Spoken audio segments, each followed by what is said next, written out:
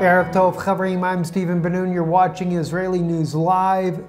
Uh, President Donald J. Trump is signing orders to uh, move forward with the construction of the Keystone XL and Dakota Access pipelines in the Oval Office today. The question now remains as to how is this going to affect the Native Americans who were fighting uh, President uh, Obama tooth and nail to stop this pipeline uh, from coming through their territorial lands. Standing Rock Victory, Native American tribes and environmental protesters celebrate as Dakota Access Oil Pipeline permit is rejected. This was back in December uh, of last year, and now it seems to be, unless I'm misunderstanding something here, the Dakota Access Pipeline has been signed in the Oval Office to move forward with the construction of that pipeline.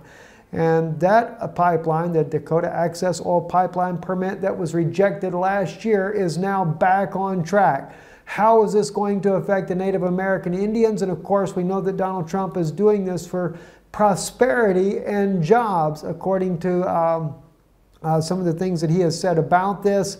And uh, of course, I actually threw in our own comment there asking how does this affect the Native American Indians?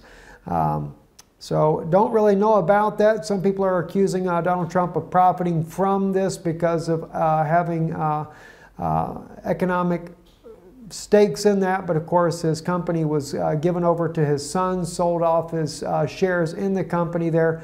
Uh, so uh, I don't really put that at it there, but nonetheless, it is a very serious issue and very serious issue for the Native Americans and how many actually came out and bared with the freezing cold temperatures and everything else.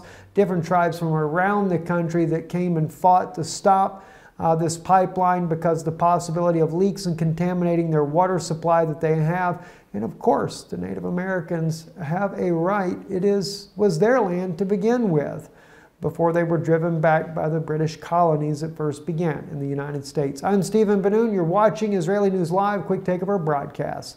Uh, shalom.